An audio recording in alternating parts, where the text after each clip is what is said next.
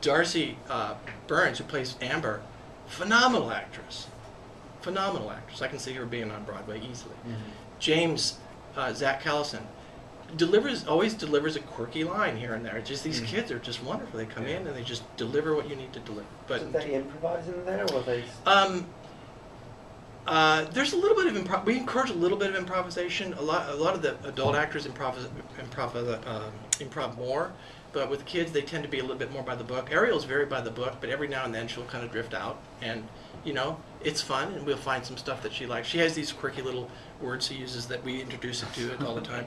We're keeping a book on her stuff. She's a very interesting character. Good, good, good girl.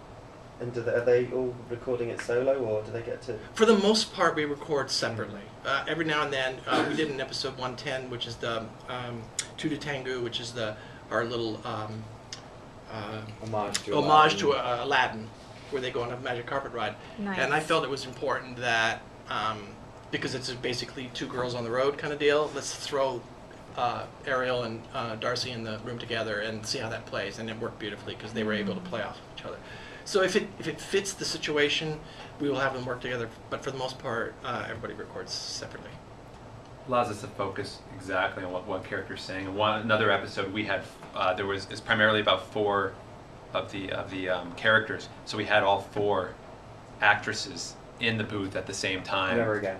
It was a slumber party. No, but it was episode. great. But it was like a slumber party. It, was it felt it, it felt a little like a slumber party. Yeah. It was a little You wild. definitely, you definitely get a different energy You when do. it's an ensemble situation. It was great that they could play off each other.